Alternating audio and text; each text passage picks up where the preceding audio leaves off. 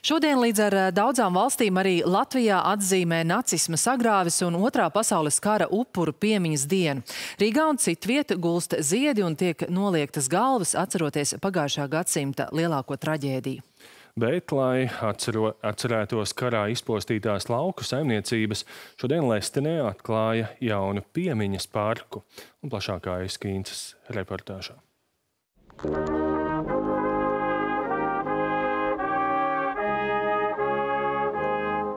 Otrais pasaules karš sākās 1939. gada 1. septembrī, kad ar Staļina un Hitlera, Molotova un Ribbentropa paktu tika sadalīta Eiropa un Vācijas karaspēks iebruka Polijā.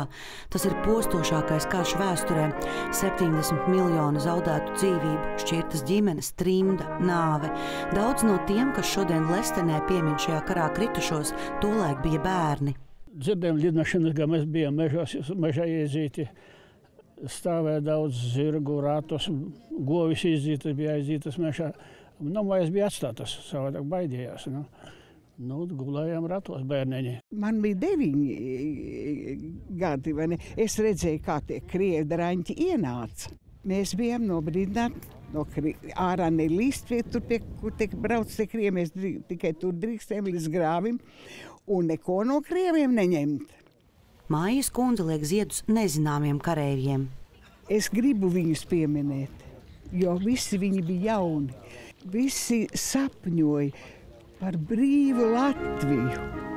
Vācijas bezjēruma kapitulācija stājās spēkā 8. māja vakarā, taču Latvijai kara beigas nozīmēja okupāciju vēl 45 garus gadus. Latvijai tas nozīmē briesmas, beigas, beigas, kara beigas. Mēs tā arī palikām okupēti. Ir mans ar manu uzvārdu viens Gedrovičs Jūlijs, nu, onkulis man kādreiz. Nu, svarīgi vienmēr ir atcerēties. Šeit pat, blakus Lestenes brāļu kapiem, tapis piemiņas parks apkaimes saimniecībām, kam arī bija būtiska loma kara darbībā. Katrs pāršķeltais laukakmens simbolizē kādu no karā iznīcinātajām apkaimes saimniecībām. Lestens jaunums ir šis skaistais piemiņas parks. Te būs 50 šādi akmeņi, kas um, simbolizē tās 50, 50 zaudētas saimniecības. Te, te, nav, te nebija vienmēr tāda klāja lauki, kā redz, kad atbrauc pa ceļiem no Rīgas. Te, te bija dzelzceļa stacija pat. Piemiņas pasākumi šodien notiek visā Latvijā.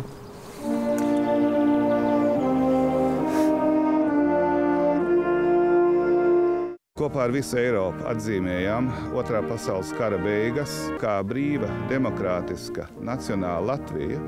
Mēs ļoti labi saprotam pat labāk Ukrāņu tautas cīņu pret Krievu iebrucējiem. Aikīns Ivans Milovs Egars Kovaļevskis, Latvijas televīzija.